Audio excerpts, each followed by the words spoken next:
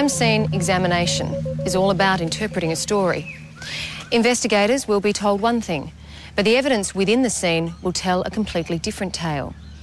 When Judith Brown's body was found in the foyer of her home, the art of listening was never so important.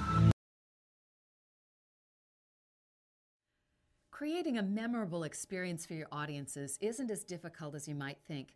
One of the secrets to making an impact is to be creative. Creative presentations happen when you take time to get inspired.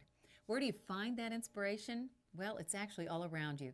Once you decide you want to be memorable, adding interesting elements that wow your audience is just a matter of paying attention. You'll stumble onto great ideas. Stories are a great way to be memorable. I'm always amazed in our boot camps at the stories people tell stories about their childhood, their work lives, personal experiences that are rich with powerful points. It's also important to read articles, go to movies, watch television. Just about anything can inspire you or freshen up your presentation.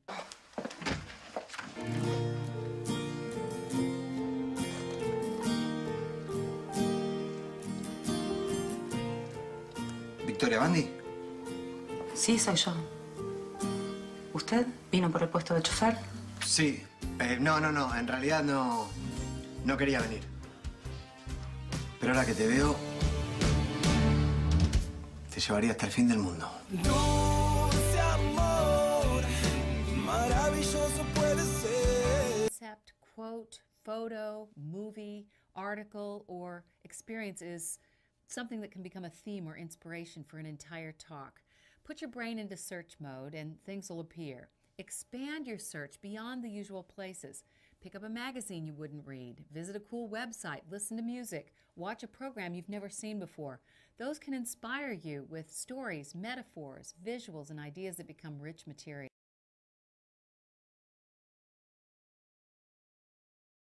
Tonight, I'm gonna have myself a real good time. I feel alive.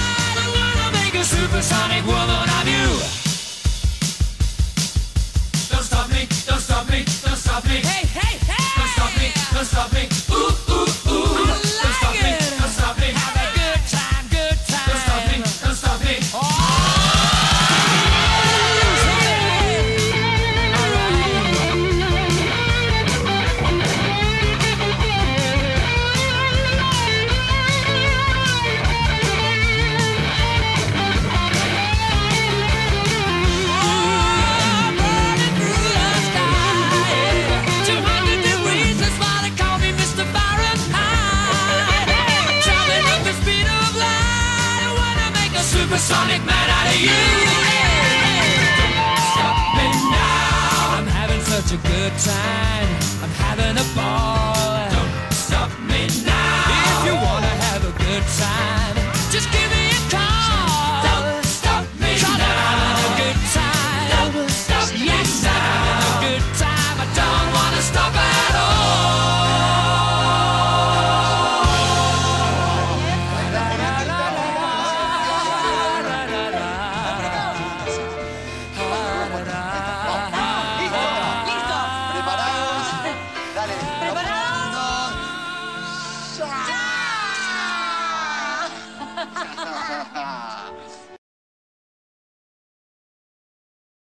It was important Ross Brown point out where he drank and bought the two bottles of beer.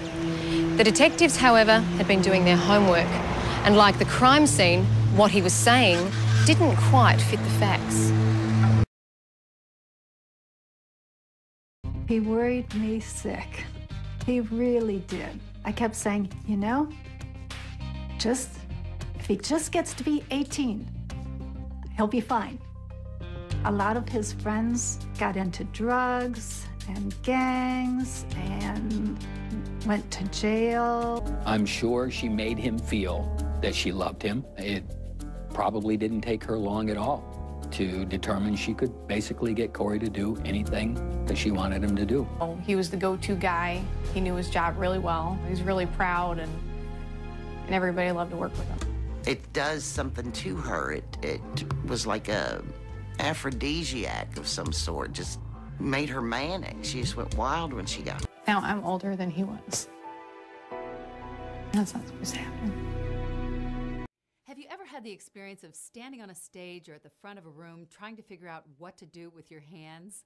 If you don't know what to do with your hands, you can appear nervous or awkward, and what's worse, you feel self conscious. When you stand up to speak, start with your arms at your sides. While it may feel a little strange, to your audience it looks perfectly natural. Bueno, ¿empiezan a grabar este año? En enero, me parece. En enero, sí. Sí, estamos eh, eh, grabando una novela para enero, febrero, no, marzo, no sabemos para cuándo. Probablemente en septiembre, octubre, noviembre esté, esté grabando de nuevo otra tira. La verdad no tengo ni idea. How important is public speaking when you're building a brand? Well, I can tell you it certainly has helped me to build a business. Although I worked in television news for many years, I found that speaking to live audiences on high interest topics gave me the opportunity to meet people who could help me build my business clients, prospects, and contacts who became friends, colleagues, and even employees. Next to a published book, public speaking has been the best way to attract new clients and make a name in business. Um, I know last week you were talking about some of the big changes that you have coming up in your life, and you're talking about how you recently, uh, well, you were previously going to Paul Mitchell Beauty Mhm. School, right? Right. And you recently decided that that's not what you want anymore, that you want to go back to um, school at MTSU and further your education that way. Um, today I would like to talk about what it is that you want out of you going back to school. Like, what do you want out of that? Um, I want to go back and finish. Like, I'm changing my whole major. It's going to be communications, Mhm. and I want to work with charity foundations such as like Tom's and our Make a Wish or something like that. Right. Like, I would like to do that. Like, it's something that I've always been passionate about. Like, because even when I went to Paul Mitchell, we worked with the organization, and it's called Andrew Gomez Foundation. Right. And like, even when, um, even when I was going to Paul Mitchell and like I found out about how we work with all the different charities. Mhm. Like I, that's what I wanted to do. I didn't even want to work behind the chair or anything. I wanted to. That's like something that I was very passionate about. Work with the foundations Mhm. more along the lines of something like that. Yeah, I was going to go down that path instead of working like behind the chair. I didn't want to do that. So that wasn't making you happy. No, because like you never like in my in that career path, you never know like if you're going like if your body's gonna like hold up for like for you to have a career your whole life, you know. Right. And I just it's not it's not me. Like I, I'm not happy with it. So you think that going back to school and pursuing this kind of a thing would make you happy? Yeah. Like You I, do? yes, I bel- like I think that because going everything that I've been through in my life, like it's like I want it. That's something that I, I'm like want to do. Like I want to help other people because I, I know like that other people's situations are way like they can be way worse than yours, and a lot of people don't realize that. Right. And I would like I just want to go out and help as much as I can, even if, like if it's in here or if I like in the U.S. or if I have to travel outside of the country, I would love to do that. traveling would definitely be fun. I, that's something that I've always wanted to do and have never been able to do. But and just like you, you know, I like to help people as well with my career, and um, so I think that you think that would be like rewarding, make you feel good too? Yeah, I think it would. Like I've all like I'm a very giving person. Like I'm always like trying to help other people Right. out before I help myself out. So Energize and ignite passion in people so they want to come to work, find opportunities to contribute, and feel a shared sense of pride and accomplishment? If people in your company are feeling overworked, tired, demoralized, or unmotivated, you need to assess why. And you can't blame the economy or layoffs or a lack of resources. The real issue is deeper. People long to have a purpose. Purpose is necessary to a happy, healthy, successful life. We want our lives to matter. We want to make a difference in the world. And for all of us, work is one of the most important ways we express that purpose.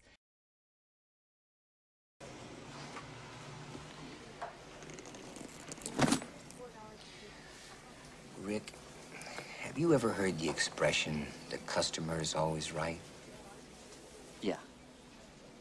Yeah, well, here I am, the customer.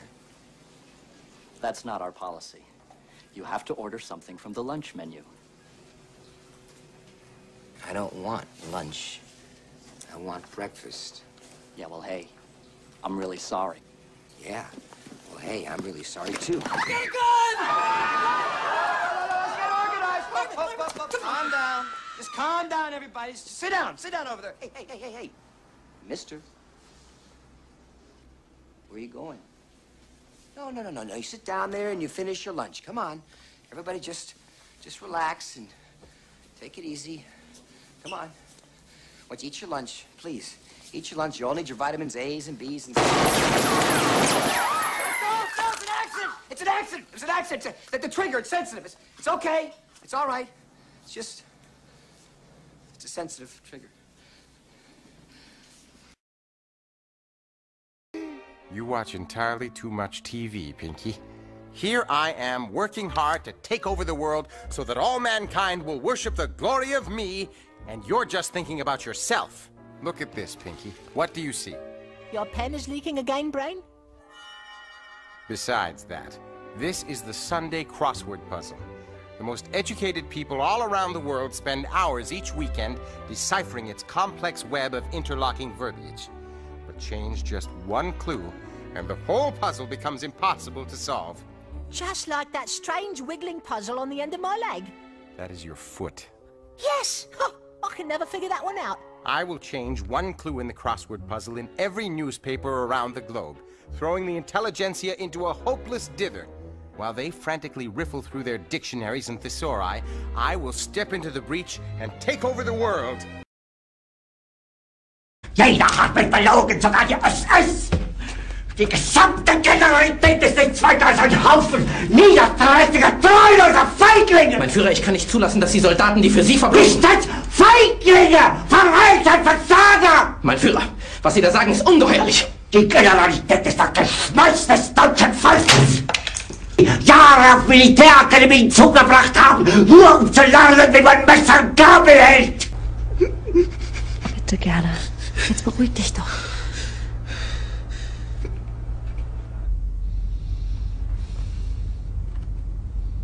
Meine Befehle sind in den Wind gesprochen. Es ist unmöglich, unter diesen Umständen zu führen. Es ist aus.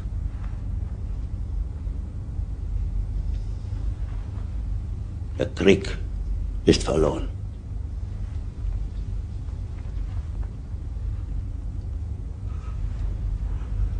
Aber wenn Sie, meine Herren, glauben, dass ich deswegen Berlin verlasse, irren Sie sich gewaltig.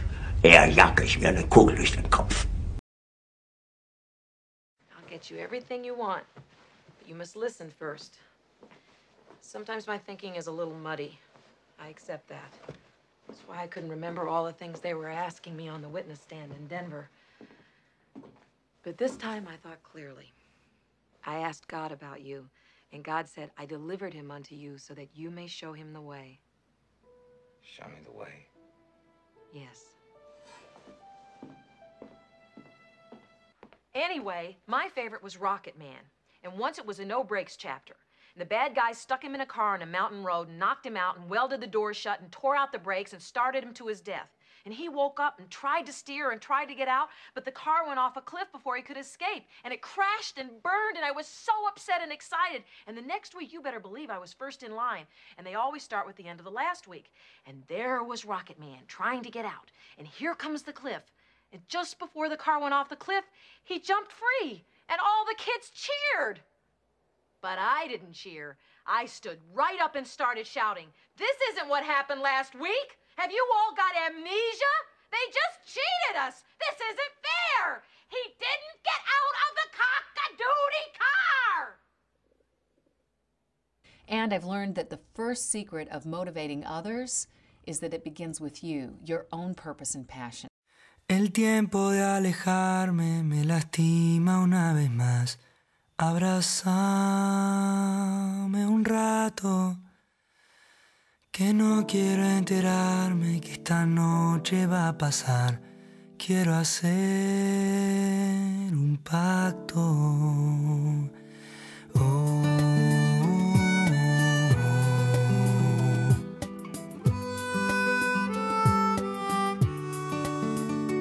Seguro se encuentre quien te quiera de verdad,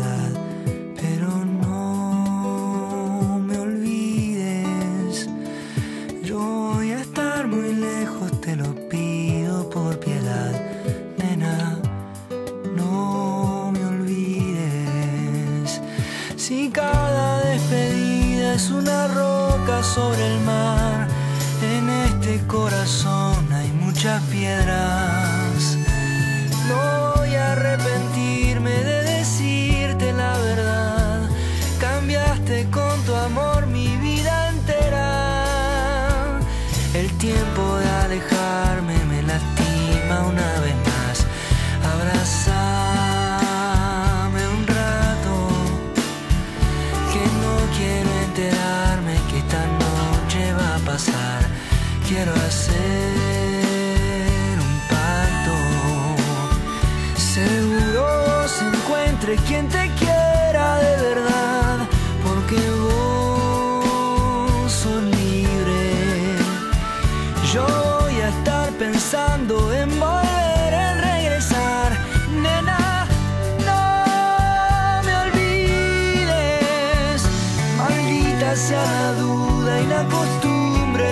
que no se puede amar de esta manera.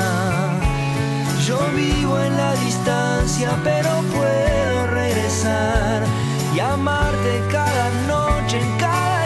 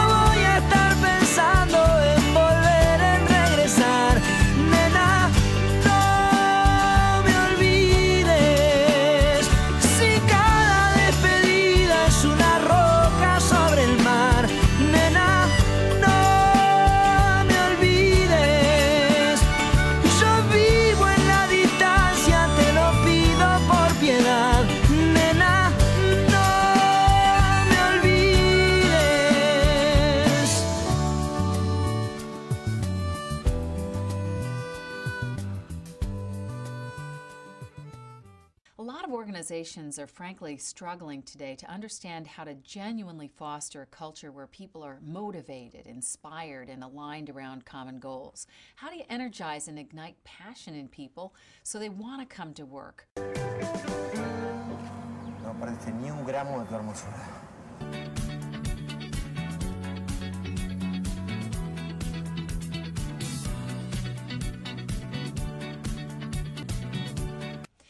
People in your company are feeling overworked, tired, demoralized, or unmotivated, you need to assess why. And you can't blame the economy or layoffs or a lack of resources.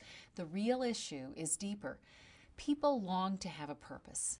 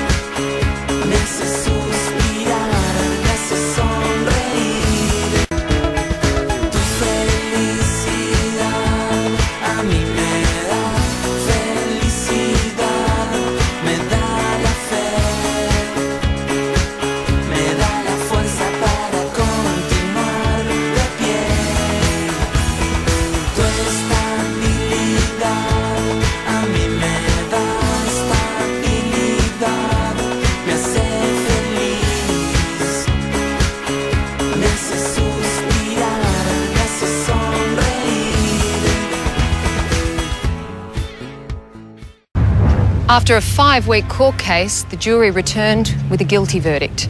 Ross Brown was sentenced to 18 years imprisonment. He is eligible for release on parole in 2017. The ceramic doorstop he used to kill his wife has never been found. Police believe it is hidden here, somewhere in the sandhills of Anna Bay.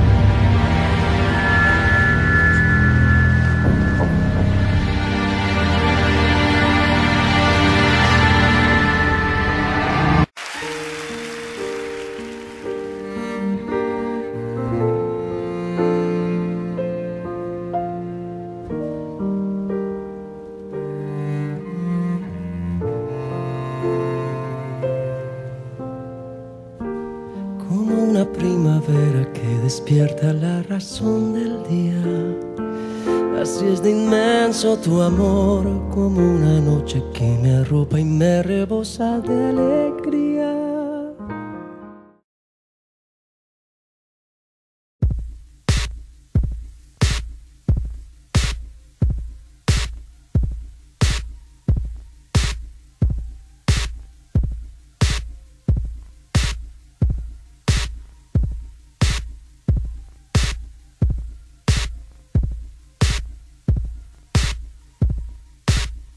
You